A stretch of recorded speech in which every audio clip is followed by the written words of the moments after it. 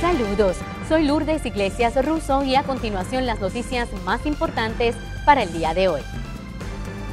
En noticias locales, el administrador del sistema de retiro de los empleados de gobierno y la judicatura, Luis Collazo, aseguró hoy que no se verán reducidas las pensiones. No hay reducción, no está contemplado y no es aceptable para el gobierno de Puerto Rico, detalló Collazo Rodríguez. Destacó que existen 120 mil pensionados beneficiarios del gobierno con una pensión promedio de 1.141 dólares.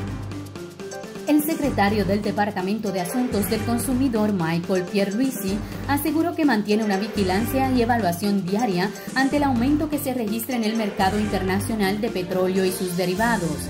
La medida se da, según el funcionario, para asegurarle a los consumidores que los precios a nivel nacional responden al patrón internacional y que los márgenes de ganancia de los mayoristas y detallistas de gasolina se ajustan a los parámetros establecidos en el reglamento vigente. Noticias internacionales. El jefe de la defensa de Filipinas recomendó que las aldeas ubicadas en una zona peligrosa alrededor del volcán en erupción se conviertan en tierra de nadie permanentemente para evitar la evacuación de miles de residentes cada vez que arroja lava el Monte Mayón, el más activo del país. El presidente Rodrigo Duterte respaldó la recomendación.